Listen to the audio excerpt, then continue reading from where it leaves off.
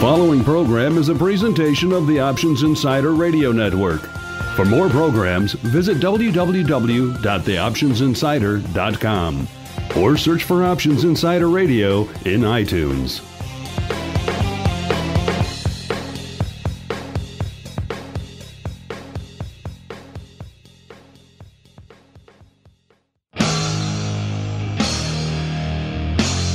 Now, it's time for the show that breaks down the options market. From unusual activity alerts to market updates and trading strategies. If it involves puts and calls, then our all star panel will break it down. It's time to hit the option block. With your host, Mark Longo from theoptionsinsider.com and co hosts, Mike Tosaw from KnowYourOptionsInc.com and Mark Sebastian from OptionPit.com. The Option Block is brought to you by Options Express. Don't spend time worrying about your broker. At Options Express, security, stability, and account protection are the most important responsibilities to our customers. Secure account access, enhanced financial protection, entrusted with over $7 billion in customer assets, established financial stability. Options Express lets you trade with confidence. Stocks, options, and futures all in one account. Trade with a specialist. Visit optionsexpress.com slash OX radio to open your free account. Options Express is a member of FINRA, SIPC, and NFA. Welcome back to option block, and I hope all of our listeners out there had a great and fun filled and exciting holiday weekend. We have indeed been off for a little while, but now we're back. We're back in force, and my name is Mark Longo. I will be your host for this ridiculous roundtable through the world of options. And I am joined, as always, by my obsequious entourage, starting off with the man from the mountains himself, none other than Uncle Mike Tosaw from Know Your Options Inc. Uncle Mike, how was your holiday weekend, sir? Oh, it was exciting. You know, it's thing. You know, there's a lot of bad press about America these days, but it just it's. You go to a Fourth of July parade, you look at fireworks. Just for it's been the same my whole life. America's the best country in the world. Gotta love Bad it. press about America. What press? What press are you reading, sir? Nothing but apple pie and hot dogs, and everything's right with the world over here. Well, no, oh, not through here, but just when you read when you hear about stuff like how uh, we're gonna have if we don't get this debt ceiling resolved, where America's gonna be go- done, and uh, with all the financial crises that go on, are we gonna be in a double dip recession? You know what? America is the best country in the world. It's going to continue to be the best country in the world. God bless America. You heard it here first. So all you Europeans and all you South Americans and everybody else, just just tune out now. We have no need for you in our audience. Uh, America, number one, baby. So I'm not prejudiced, though. I guess I hate everybody else with those comments. There you right? go. Yeah, you hate everybody equally, so uh, it's it's it's relatively egalitarian on your part. We are also we are also joined by good old Darth Tim Navabi from Options Express, filling in the Options Express hot seat. Mr. T Nav, Darth T Nav, I heard you went on a extended vacation up to the UP over the holiday. How was that?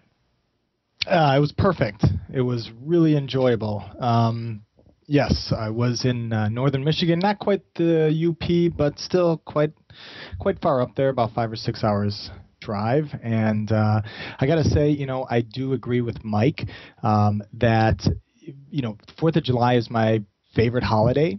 Um, I always say that I wouldn't be such a Scrooge in the winter if uh, Christmas was in July. Um, but other than that, yeah, I mean, to me, that is just like a celebration of, you know, my living in the United States, and I really enjoy it. I mean, I'm very thankful for you know everyone who's been before me, who's fought for my freedom. I mean, no, I know we're not talking about Memorial Day, Memorial Day here or Veterans Day, but um, still, I think it's just a special day, and you know, I really enjoy my freedom in life and freedom that I have here in this country. So, it's my favorite holiday too. Well, we have quite the star spangled episode going today. I think that's your uh, yeah, that's the name of your show there. feel uh, I could feel the patriotic tide rising within me. Or perhaps that's my lunch. I'm not sure. now, do you go downtown for the fireworks, Mark? Or of course, yes, we did. The, the, little man took the little man out. He's discovered fireworks, and he finds them to be quite fantastic. So we had to go see the fireworks, and he could narrate to me every single one that he saw and what he thought he looked like. So he kept seeing a lot of Mickey Mouses and uh, He-Man and other things in the fireworks, which makes it pretty fun to to watch fireworks like for the first time through a two year old's eyes is always pretty fun. And so yeah, we I, had fun. And of course, Taste of Chicago was in town. For those of you not in the Chicago area, it is our big summertime eating extravaganza, and we did our fair share of that as well. So it was a fun time all around. And we will be joined in progress by the old sea bass. I believe he is closing out a gig right now with the mini metals as we speak, but as soon as they pack up their gear, he will join us. So, with that, we will roll right into the trading block. The Trading Block. Welcome to the Trading Block. This is, of course, the part of the show we talk about what has been trading, what's moving the markets today. And it was yet another day when the bulls were out in force. Today, S&P closed up 14 handles even to 1353. The Dow closed up 93 to 12719. Then the good old NASDAQ rallying hard after a long period of getting crushed and underperforming all the other indices, closed up 38 handles, nearly 39 to 28.72. And the good old VIX cash continuing to put money in good old Seabass's pocket, closed down today 0.38 to 1596. Yeah. Uh, did you close out your VXX trade or are you still short volume? Uh, almost, almost all of it. I've unwound. Uh, I, I held some of my longer. I'm I'm holding all my long term stuff. I got out of the July. So. Ah, long term vol beer. Here we go. Well, that well, that's more of a product of VXX itself than my my opinion on long term volatility. And I know Uncle Mike, you've been. Uh, taking this rally as an opportunity to, to take some risk, take some positions off the table over there at Know Your Options, correct? Yeah, today was uh, uh, the, the, the BBI was uh, quite was definitely lower today for ah, sure. A lot of put rolling, a lot of collar in today, huh? Yeah, like for just for just I'm just going down my list here with Apple. We originally just a few weeks back, uh, as in I think two weeks back even, we had the put level at 300, and today just towards the end of the day, I mean I don't know for sure if the employment report's going to make the market go down, but if there is anything that can make it go down, it's that. So I'm being cautious right now. So, like with Apple, we had already bought our way out of our covered call and the original collar. So I basically recollared it today. So just for the next week, we have the 350, 370 collar on for Apple. Paid a little bit of a debit for it, but you know what? If we go down, that's a great hedge. But if we go up, I will gladly admit to being wrong and take the the collar off once Apple touches the 370 level no, in the next week. No. Speaking of Apple, I threw on today was um, I bought some puts in AVSPY. Remember we had uh, a while back we had Paul Gigante on from uh, Nasdaq OMX, and he was talking about this AV, the alpha these uh, alpha yeah. products. Remember that?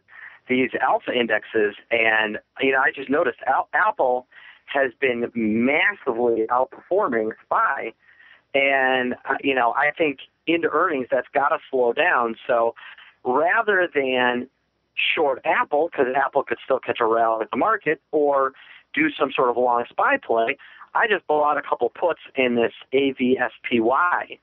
Um, you know, really short term. I bought some July 134s for like 70 cents. And all we need is a couple of days of either the market not rallying and Apple selling off back down to 345 or the market rallying and Apple sitting still. You know, one of the interesting things about Apple is that they're kind of like the second banana, you know? Google is actually the top banana in the, the phone business. That always told me don't buy the second but for right now, there's a lot of people. This, um, I don't think it's a three hundred six dollars, but um, while I'm not willing to bet on on it going down or up, I am willing to bet that it's not going to continue to outperform uh, the S and P 500 at this point. I think I think this rally in it, which has been what almost 20 percent from the bottom, is uh, is got a pull. So yeah, this thing was trading 310 just uh, a little over two weeks ago. I mean, it was trading 310 yeah. handle, which is insane. It's almost a 50 point rally at this point. Yeah, about like a it's like a it's like a what 16 17 percent rally. Yeah, about 17 percent. If you were trading AVSPY today, you were trading one of the 12 contracts that went up today. I'm looking at it right now. We've got uh, a 10 lot of the July 34s went up, and then a one lot of the 132s and a one lot of the 134 puts. That is it today. So Sebastian, if that was you, you did one twelfth of all volume for today. well, at least you know he's telling the truth. Yeah, exactly. Someone was trading the 134s out there. But yeah, yeah they are a little, uh, a wee bit wide. Nothing terrible considering the, how illiquid they are, but a wee bit wide. Mr. Navabi, I imagine you guys have been seeing Apple lighten up the tape over at OX lately. Definitely. Um, you know, we're still seeing people put on Apple trades. Um, I talked to somebody today. He's a, uh, a spread buyer um, on Apple and Google, um, and today he basically took a lot of his positions off, um, but he had been adding them on.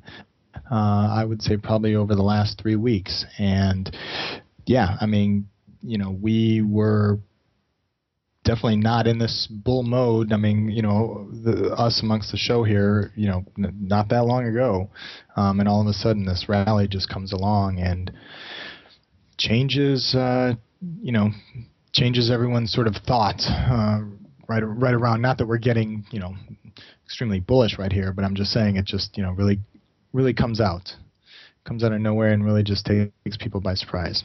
Yeah, Uncle Mike, it's hard to believe. Just I believe it was last show we were debating which half of the 12 half 1300 strangle would would be hit first, and now we've blown through that. Now we have to talk, you know, 1325, 1375. It seems like on that S&P strangle. It's amazing. Yeah, this is something. I think we're at, we're at, at over. I think it's 10 days. We've gone almost 100 points. So at this rate, by fall, the market will double. Then. Yeah, exactly. There's no foreseeable way that that could ever possibly curtail or in any way. In any see, way yeah. you know, it's interesting. Um, the futures until the Fed stops letting these guys park futures as collateral, um, there's no stopping the market. That that is that is the driver behind this rally. It's all futures parking, eh?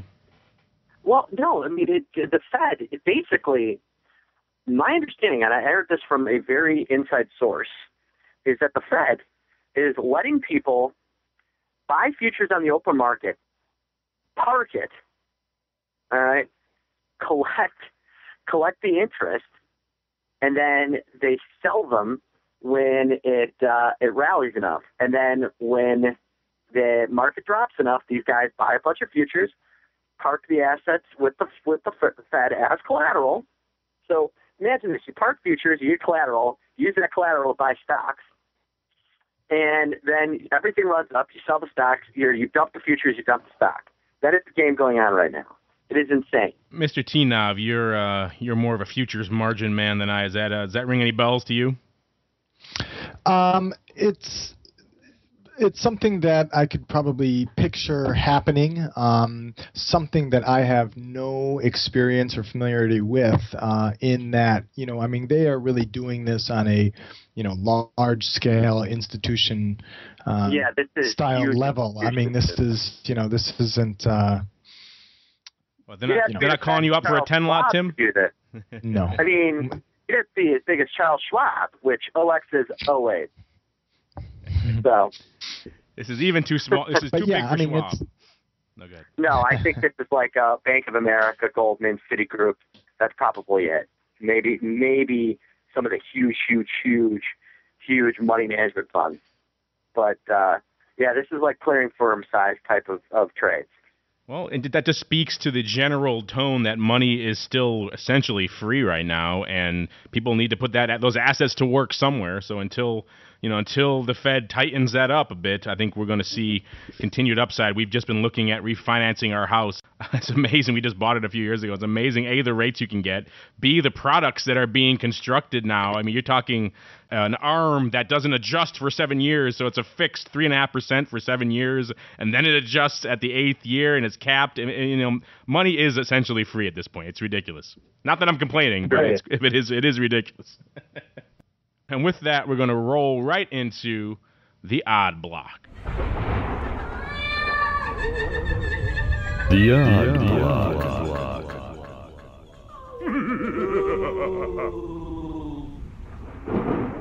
All right, and welcome to the odd block. This is the portion of the show where we discuss the interesting and or the unusual options activity that is lighting up the tape today. And we are going to start with good old Uncle Mike's favorite, Amkor Technology Inc., ticker symbol AMKR. They closed today at $6.53, up 62 cents or about 10.5%. And this is the name that does a whopping 300 contracts a day. They did 43,000 today. So it's one of these. Uh, I love it with these six dollar stocks. Yeah. That do no volume, do fifty thousand contracts. They, they are pretty fun. It was like, tickles like, my soul. it tickles um, your soul. well, now that we've tickled your soul, sir, as you're staring up at the naked painting of Ceres, this is a semiconductor testing and assembly company and they're seeing mm-hmm. a lot of bullish activity today in this name. As you might imagine, the bulk of them are on one strike. They're on the calls, and it's in the August AUG sixes, which went up today a total of nearly nearly 30,000 contracts on the AUG sixes alone, 28,500 on a previous open interest of 114 contracts. That's crazy. I love it. I love the whole thing. The bulk. Uh, you know, is that iPhone related, or is that is that a? Because there were a lot of semiconductors that were up pretty big today, um, and they were mostly iPhone related. Uh, TriQuint, which makes a chip for the iPhone, was up big. There were a few other of those. Um, so I'd be interested. In, I don't know anything about this company. Yeah, one of the other, one of the other um, but, ones we have having in an ad block is another semi name. They were up as well. They were up because of an upgrade. I don't know of any particular upgrade that hit or any particular news at all for Amkor but they uh, maybe they're just feeling the love from the upgrades across the sector. And I'd imagine a lot of these mm-hmm. upgrades mm-hmm. are coming. You're right from the increased demand for a lot of these mobile devices that are coming yep. out down the road. Yeah, we saw the bulk of these yep. calls were lifting offers, over 80% lifting offers on these AUG sixes, trading in the 80 to 90 cent range for the bulk of them. This is a this is a serious serious bullish activity. Why would you pay Why would you pay 90 cents for the calls when you just buy the stock? For for six bucks and change. Yeah, you know, or, I mean, I mean, you figure you can margin the stock for you know around three and then work the rest. I mean, yeah. Where's the where's the seven? Where were the seven calls trading? The sevens are trading went out thirty cents at forty. About forty five hundred went up. That is those as well. You know, very rarely do I like the amazing upside call, but if you think this thing is going to rally like that, the probably the AUG seven makes a lot more sense than the AUG six. Um, just because why would you want the in the money stuff? You know. So. Well, a lot of these weren't in the money until today's trading activity too, so that's probably that drove right. a lot of these up. These were trading, you know, uh, half that earlier or yesterday. This was, stock was trading 590 yesterday. So all this. Well, those those 113 people that already had those calls are pretty happy people. They're happy fellows indeed. All all 114 of you. I love these names. These are these are some of my favorite ones to bring up because they're just it's just so absurd. Okay, next we'll roll into good old AEO American Eagle Outfitters. They closed today at nearly 14 bucks, $13.95, and they closed up 82 cents on the day, or about six and a half percent. This is a name that does about 4,800 contracts a day. That did nearly 100,000 today. this is uh, another. Jesus, this is another yeah. good one. There's some guy, you know, um, it was up big on on the retail news this morning. Some guy just unloaded the uh, Feb uh, 15 calls at 120, 115, and 110. Um, my thoughts is this guy, this is legged into a buy right. Um, but what he ended up doing was completely overselling those calls.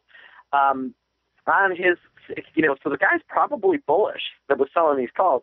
And can you think of another reason why somebody sells 65,000 of the uh, a of, of the Feb. 15s. Yeah, no, this has covered or buy right written all over it here. Right. Well, the neat thing was is then I took that guy. I said, okay, well, I'll buy your calls for 110 that you're selling, and then I'll sell the 17 call, and then I'll sell the uh, the 16 calls at. Uh, so I'll buy your 16 calls for a buck ten, then I'll sell your 17 calls at 80 cents twice, and then I'll buy your 18 calls for 50 cents, and I'll end up owning your uh, I'll end up owning a completely bullish spread for free, and uh, that is all because you decided to oversell one strike.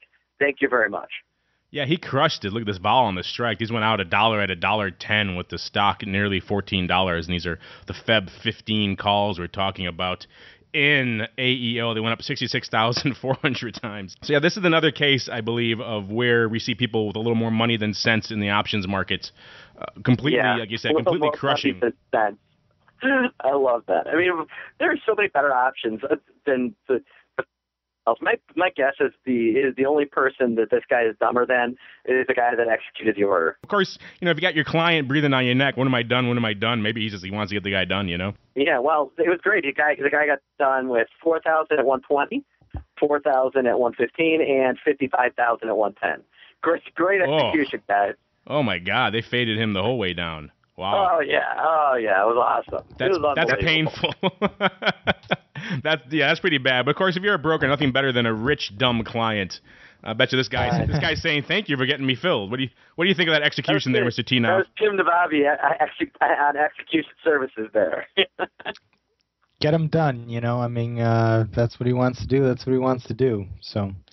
No, my guess, I mean, my guess is uh, the broker. The broker had took the other side of a large portion of the 110. so if they're smart, if this was the old Schwab desk days, they would have taken down the other side a lot of that. Yeah. Oh yeah, no kidding.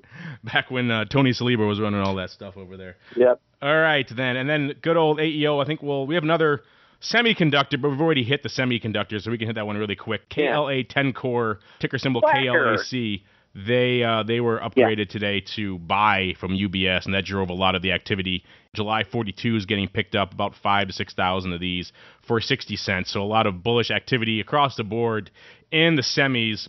Mark, was there any Novellus uh, flow against the KLA Tencor? Because there's a, a, a well-known pairs trade between those two.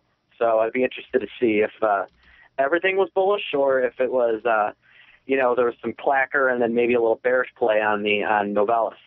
Well, Novellus didn't follow suit with the others. It only did about 6,000 contracts today, where the rest were pushing up size. I'm looking here. Yeah, Novellus closed at 36.81. It looks like the bulk of the activity today, about 2,000 of the July 34 puts went up for about between 20 and 30 cents. So a little bit I don't I don't know I don't have to pull up time and sales on these, but um I'd be interested to see if that was there was some pairs trading going on there. But it's still it's it's pretty small. It's uh you know seventeen hundred yeah. contracts versus sixty. But these are all buys. They bought oh actually no, some guy dumped them eleven hundred of them for twenty cents.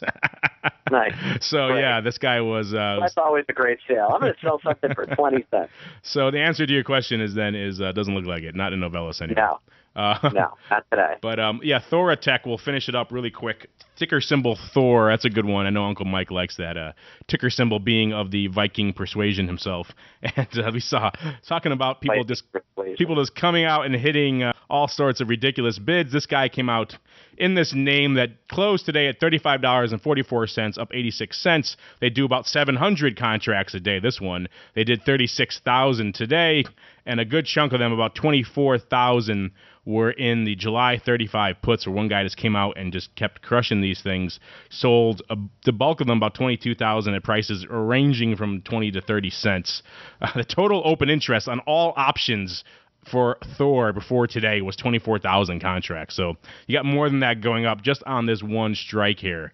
And uh, looks like the rest of the activity was just uh, scattered, some downside. Looks like some people legged into the spread buying the uh, July 34 puts 9,000 times today. So they sold that spread for anywhere from, looks like about 15 to 20 cents. Size put seller in Thor, I don't follow this name that much, not too much news at all in what this uh, name is doing. Just an interesting, out of the blue, tons of put selling in this name. Only Speaking of Thor, um, Mark, I need to ask you: Did you see the new Transformers movie over the weekend? Okay, I did.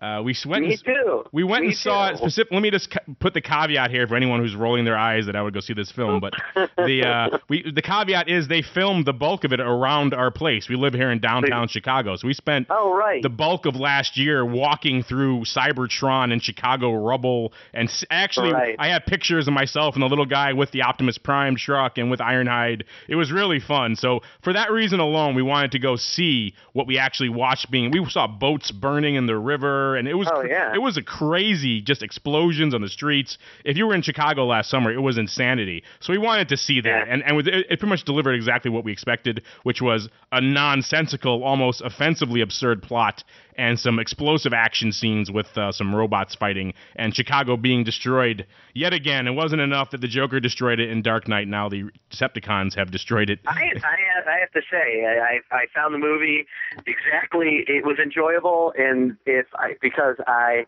chose to just to suspend all of my disbelief in critical thinking while watching the movie. I did enjoy myself certainly better than than the second movie. Wouldn't you would you not agree? Yes. Oh, it's hard hard not to be worse. And we did watch him film that final scene on that bridge. I was right in front of my wife's office, so we actually watched them film that over and over again from multiple angles Yeah. as Shia LaBeouf ran in and had the hard job of scooping up and kissing that Victoria's Secret model over and over again. And it was know, actually it was interesting to watch. They had you know markers laid out on the bridge. I said to my wife, "I bet you that's where the where the robots are going to be standing in the final film." And sure enough, if you watch the final shot as they're peeling back with the camera, all the optim- all the Autobots are there on the bridge. It's pretty cool to see how they made all that stuff and taking pictures with Bumblebee. The, the thing I thought was really funny was when the uh, Sentinel Prime said, uh, "The good of the many outweigh the good of the few." Uh, while when he was fighting with Optimus Prime, as a throwback to uh, the end of Star Trek II: The Wrath of Khan.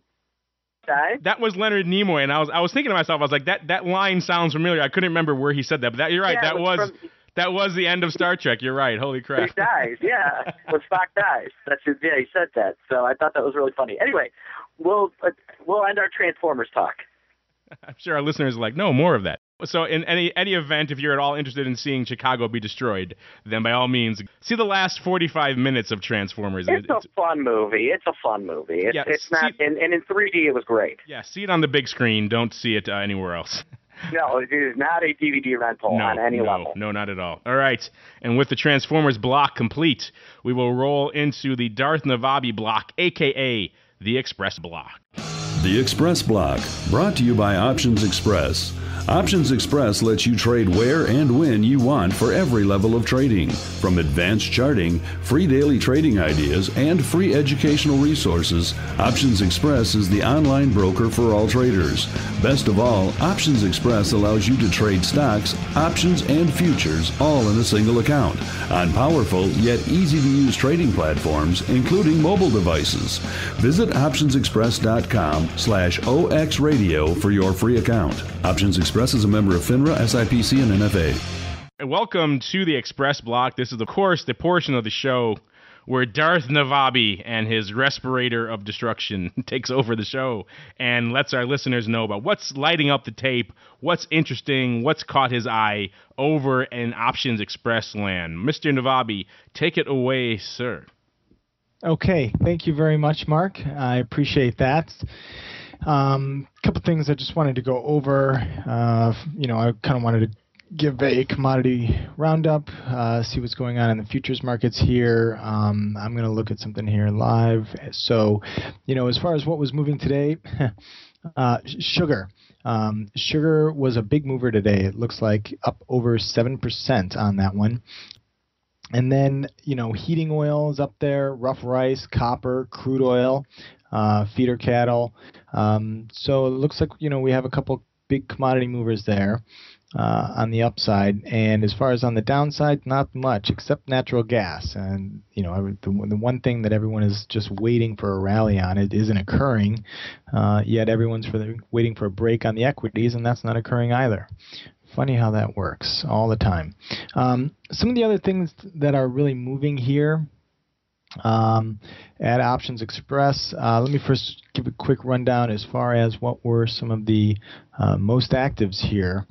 Um, SPY number one, uh, number two, it was the RUT. Uh, three was the SPX, and then we have our favorites. We have net, uh, sorry, Apple, then Netflix, SLV, Google, Triple Qs, VIX, and then Baidu. So uh, those were some of the big movers here. Um, most active, most actives, I should say, um, and then you know some of the um, some of the other movers that we had. You know, Microsoft um, saw a number of those trades today. ExxonMobil, a number of those trades. Um, uh, GE, you know, a number of those trades going on, uh, and J.P. Morgan. So uh, those are just a couple of other names um, that were pretty active here at Options Express.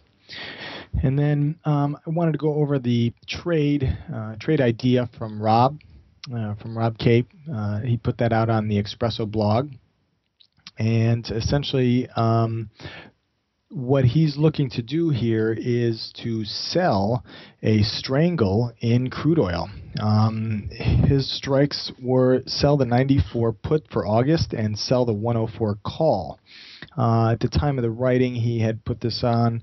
Uh, or he didn't put it on, but uh, he was looking for a credit of about 75 cents. Um, you know, selling that 104 call naked um, you know, is uh, very risky. So, you know, he did have a couple other ideas um, to limit the risk. So he thought, you know, what you can do is actually buy double double the number of contracts of the 109 call uh, and double the number of contracts on the 89 put. Um, if you did kind of want to uh, let it ride and, and see where it goes, um, what you could have done, uh, or you know what you could do is just essentially, you know, wait for that underline to cross 90 or cross 104, uh, and then get out because uh, something's going to move there. So, um, you know, kind of what he sees here is pretty much a low off of uh, a move off the lows from the 90 area. Um, yet, you know, the Chinese, you know, are raising interest rates uh, and trying to cool off their economy, and that just hasn't seemed to work. So, you know, it seems like you know he's trying to play some of this effort of uh, you know trying to cool things off, and, and maybe that will have have an effect on the crude oil market. Uh, we should just kind of stop it right here. Um, it's and, and he pretty saying, risky trade. He was saying he was saying front month. I, I forget which month was he talking. He was uh, choosing the August. August, okay, a little bit longer term, but still, yeah, that's a courageous trade. I like it to think that oil's going nowhere anytime soon. Yeah, I mean, it, it definitely. Uh, I don't, I don't know, you know, or, I mean, it's definitely moving, um, you know, but I think you know, over the longer term, you know, I mean, it, it, could be right back where we are, you know, um, but definitely oil does not stay still. I mean, it's really, really been a mover these days.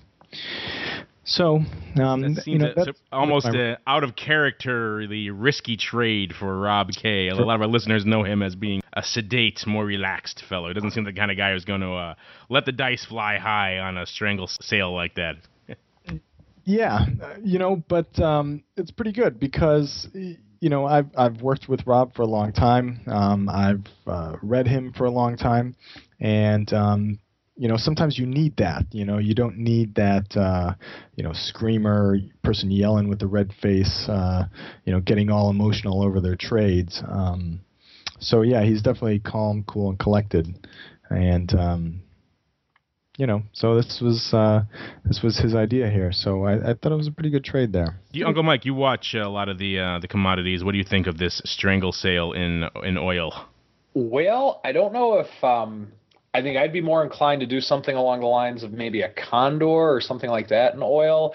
Um, I do watch oil pretty regularly. I don't have any positions on it right now, but um, typically not a fan. If if you have very deep pockets, I like the trade. But if not, you got to be careful with that one because if you're doing a naked short strangle on the big crude contract, I know it's it's highly unlikely that oil will go to zero, but if it goes from 90 to zero, you're out 90 grand per contract. And if you're if if you're saying, "Oh, he's just trying to scare me," well, the answer is yes, I am.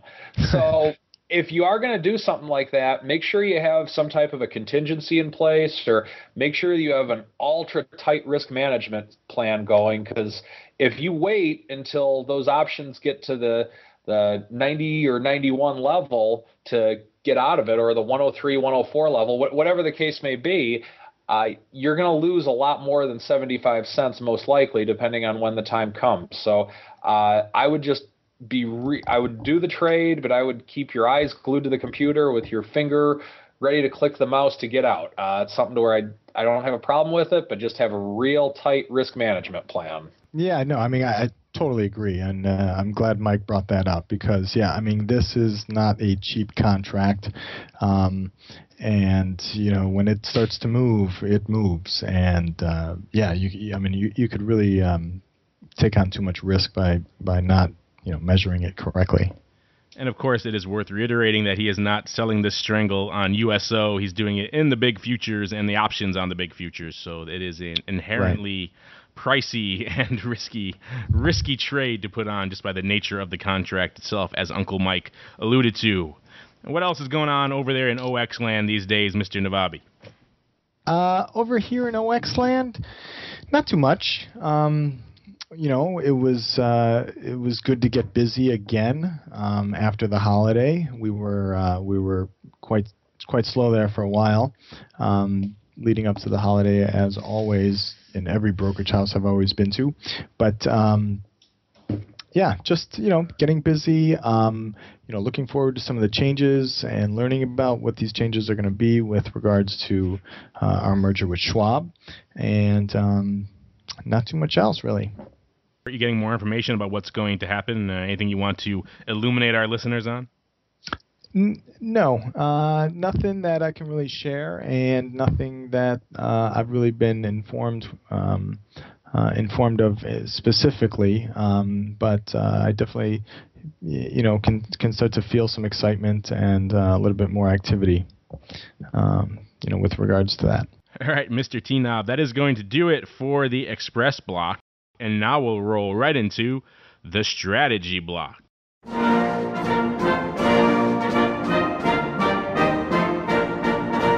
Hmm, the strategy block.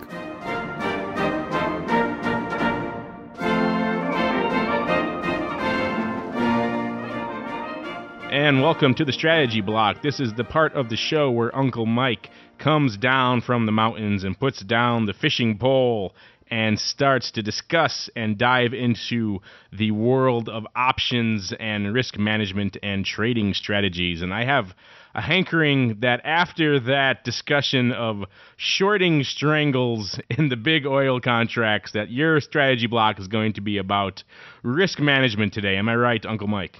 You are correct, sir. And uh, just to, to give you an idea of it, I, I with Rob's trade, uh, I've known Rob for uh, years now. I used to we we worked at, when I worked at OX. He was at OX, and so I have a ton of respect for Rob and uh, everything that he does over at optionsXpress. And I like this trade, but here's what you need to be careful of when doing a naked option trade.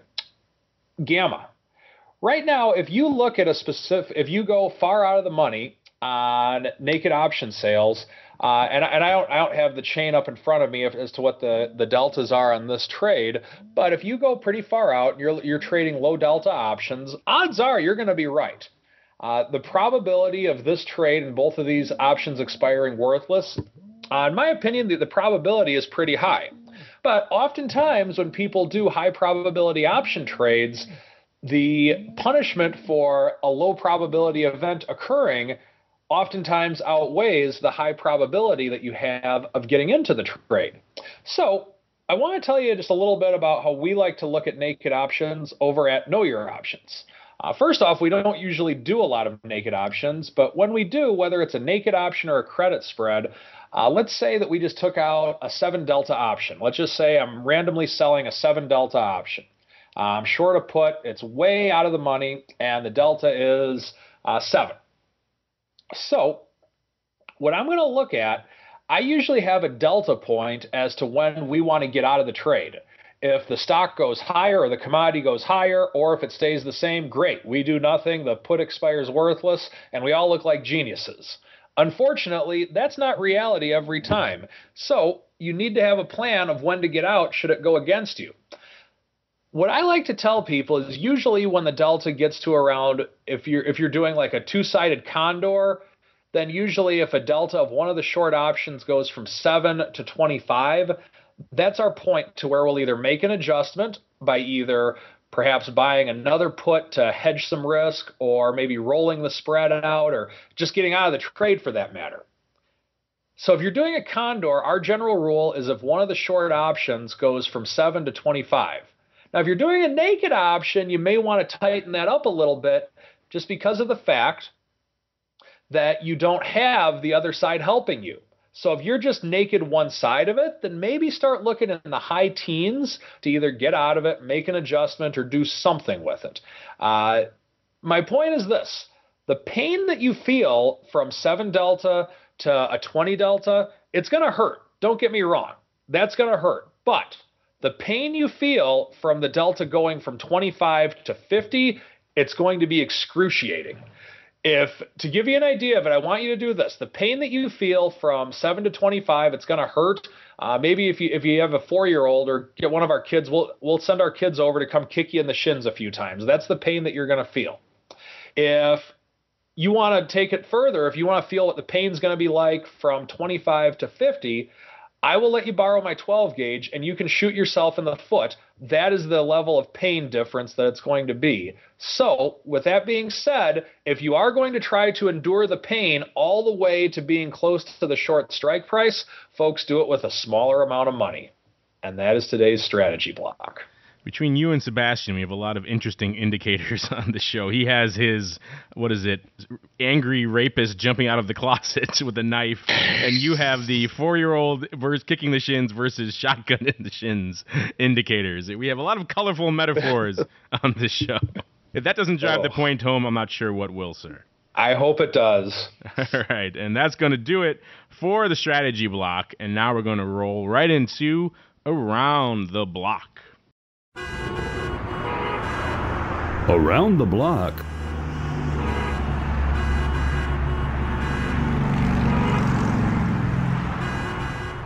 All right, and welcome to Around the Block. This is, of course, the portion of the show where we peer into our crystal balls and talk about what we're seeing on the horizon for the upcoming sessions. And we'll kick it off with Mr. Seabass. What are you seeing in your crystal ball for the coming sessions? Obviously, we have non farms coming up. That's probably putting a lot of your uh, activity on hold for the time being. Yeah, you know, I'm I'm keeping an eye on um, VIX futures as they're starting to really get kind of out of whack again, and I'm paying attention to term structure. Um, coming out of you know um, that August September term structure has been really interesting to watch, and there's been some great trading opportunities.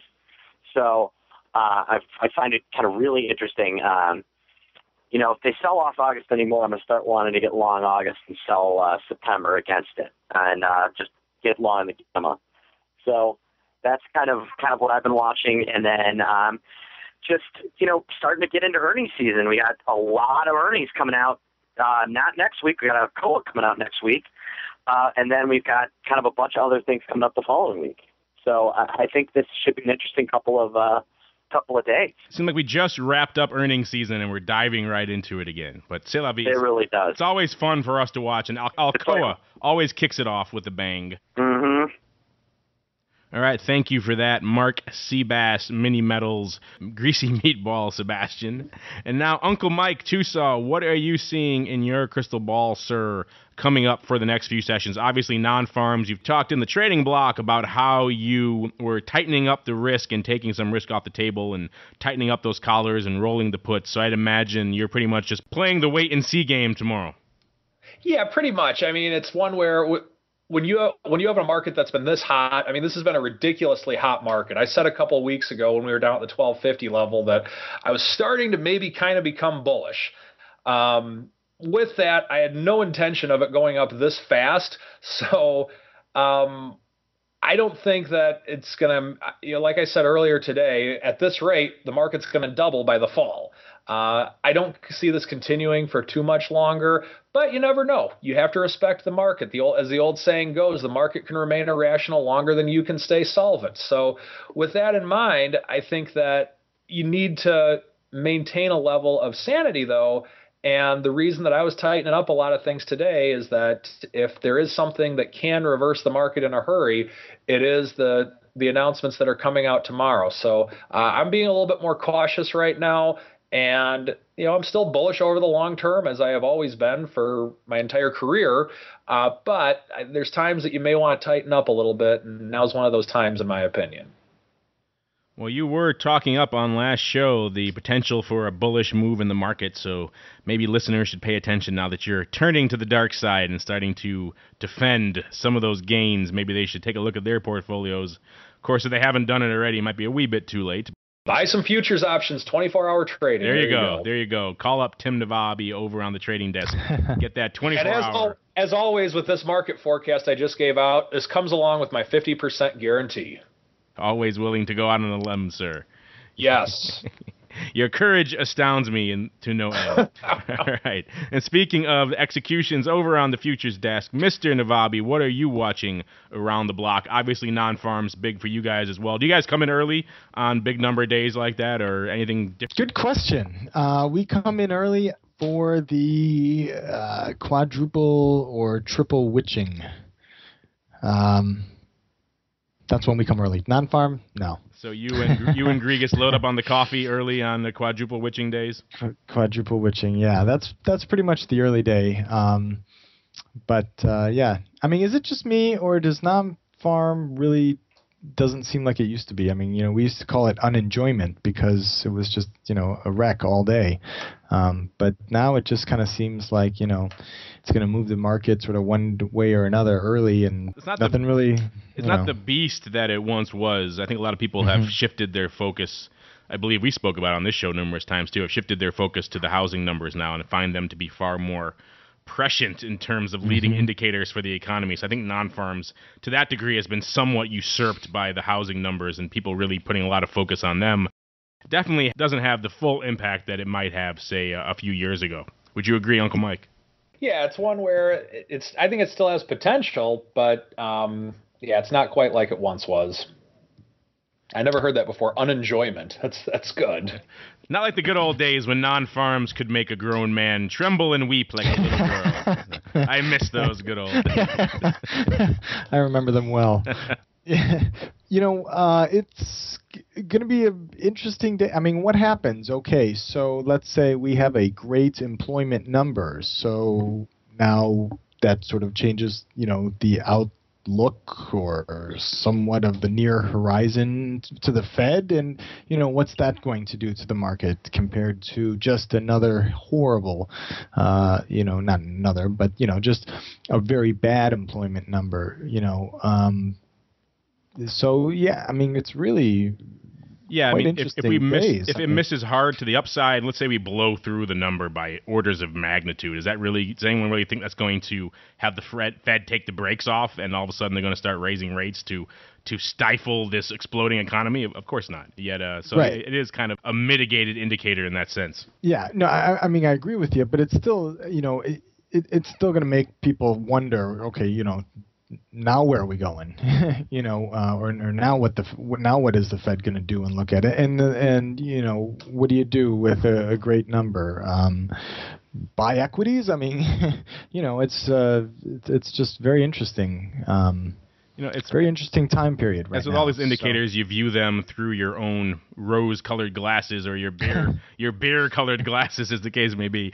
And you know, if you're a beer and it comes out and you miss harshly to the downside, it's just going to reinforce your bearish sentiments. The bulls have shrugged off negative non-farms for years now without really right. causing much in the way of slowing their momentum. So it will be interesting to see, you know, if this number does miss strongly to the downside, if this can derail whatever this is we're currently undergoing, if you want to call it a rally, a uh, upside correction, a Greek party, whatever you want to call this that's going on in the market right now, if the non-farms have the muscle to uh, to cut the legs out from under it. I don't know. I've seen seen the Bulls laugh off bad non-farms too many times now to really think that one number is really going to undo it. But if anything could, maybe for the next coming sessions, it would be non-farms, obviously. Mm-hmm. Um, real quick here, you know, Citigroup has earnings on uh, July 15th. Uh, J.P. Morgan uh, a week from today on July 14th. Um, Apple, you know, has earnings on the 19th. Microsoft has earnings on the 18th. Um, ExxonMobil on the 20th. I know that you know we're probably going to talk between now and then, but these are just a couple of things that um, we're sort of uh, you know getting ready for. Uh, Coca-Cola on the 19th. So yeah, you know, I, I, gave Sebastian a hard time that you know, oh, it seems like we just got out of earnings season, but it, it, will be nice to have some earnings, some proper earnings to discuss again. The old around the block has been a little bit dry for the past few months as we kind of tapered off towards the end of earnings season. There wasn't too much in the way of really, you know, interesting numbers to debate or interesting earnings mm-hmm. to debate. But earnings are always fun. They drive a lot of activity, gives us something here to talk about and to trade around. So we always welcome the approach of a new earnings season Thank you, sirs. That is going to do sure. it for this Around the Block segment. It's also going to do it for this episode of the Option Block. I want to thank all of my obsequious entourage for joining me on the show today, starting off with you, Mr. Navabi. What is coming up over at OX you want to make our listeners aware of, sir? Uh, over at optionsXpress, um, we are going to have a couple of events here, um, and you know some of the webinars that will be uh, coming uh, in the future here. Um, IRA Strategies Part 1 Covered Calls. That's on the 12th of July, 9 o'clock Eastern. Um, on the 17th, it's all Greek to me, uh, 9.30 Eastern on the 17th of July as well. And as far as live events, what we've got going on here, we do have our special uh, special options insider event, uh, and uh, nothing in particular with regards to you know OX kind of traveling uh, traveling traveling around doing any, any of those live events. What is so. this insider event you speak of, sir? You have piqued my curiosity. Uh, it's the. Uh, Allow me to fill in the details for you. Then, of course, he is referring. he knows. He knows it's somewhere in Chicago. He is, of course, referring to the Options Insider live event, the Option Block live recording session, if you will, on July 21st. That is a Thursday here in downtown Chicago at Elephant and Castle Pub at 111 West Adams from 3:30 to 6:30 p.m. or perhaps if it goes longer from whenever we feel like finishing, however long people want to come in and enjoy the show and have some beverages. And we will be giving out all sorts of fun prizes and we'll have live listener questions, we'll have some special guests. It will be a fun fun, fun time for anyone who's listened to the show, or even if you haven't, you want to bring some friends along who haven't heard it, by all means, swing on by. We have some RSVPs set up right now on the Options Insider Facebook page. We'll also be sending out some emails and putting ways on the optionsinsider.com for you to RSVP. Of course, you don't have to RSVP. By all means, you can just swing by anytime you like in that time frame. It just helps if we have some idea of how many people are going to show up. So, but if you don't RSVP, don't feel that you can't come, by all means, everyone is welcome to come in and join in the fun on July 21st. There in Chicago at Elephant and Castle, 111 West Adams, 3:30 to 6:30. Be there or be Sebastian, as I like to say. And of course, speaking of Sebastian, Mr. Seabass, what is going on over in the land of OptionPit.com? All right, I have three webinars next week: the 12th, the 13th, and the 14th. The, the 12th is being sponsored by the Chicago Mercantile Exchange and the Volatility Exchange. Of uh, I'm sure you've promoted that enough through VolView. Um, it is going to be at uh, one, I believe, uh, noon Central Time, one o'clock Eastern, and uh, I'm going to be discussing the VolX future on Wednesday night, which is the 14th. I or the 13th, excuse me. I'm going to be back trading uh, a bunch of uh, butterfly trades, and then on uh, on the 14th, I'm doing a uh, webinar with the Price Futures Group on charting of futures contracts. And thank you for that, sir. And last but certainly not least, we have the man from the mountains, good old Uncle Mike Tosaw. What is coming up in KYO land, sir? Well, we're getting geared up for the live show. We're excited about that. And uh, just we have some webinars on the on the Sunday nights for the remainder of the month of July. Uh, we have it's all Greek to me on the 17th. We have strike price selection on the 24th, and then August 1st we have plan the trade, trade the plan. So for more info on that, please visit our site and allow me to throw in an additional plug for you, Uncle Mike. Good old your partner in crime, Mike Kavanaugh, will be appearing on our Volatility Views program. We'll be recording it tomorrow. That will go up for our listeners on Monday. So stay tuned for that if you want to hear what Uncle Mike's better half has to say about volatility and volatility trading. My wife's on the show. and what's going on. Your work better have, let's put it that way. There you go. Uh, what your work better have has to say about volatility and trading and risk management in this environment. Then by all means, tune into Volatility Views on the Options Insider Radio Network. Comes out every Monday. Check that one out. That is going to do it for the old option block. I want to thank all of our listeners out there for downloading and streaming and subscribing to this show and making it such a hit. And once again, we definitely want to see you on July 21st at the live event. So come out and see us. But until then, we will see you next time right here on the option block. Become a part of the option block. Just visit www.theoptionsinsider.com slash forum to post a question for the hosts. You can also submit questions to twitter.com slash optionblock or leave a voicemail at 312-544-9356. Make it interesting and your question just might make it on the air. The Options Block is property of the Options Insider Incorporated, all rights reserved.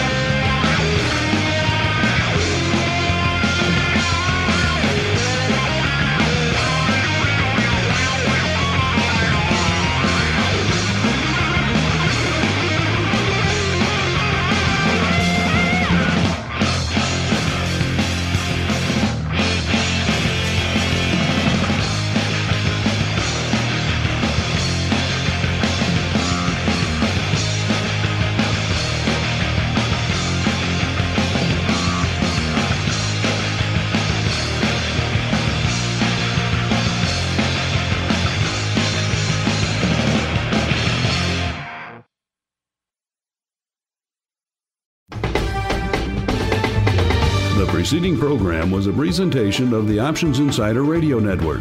For more programs, visit www.theoptionsinsider.com slash radio or search for Options Insider Radio in iTunes.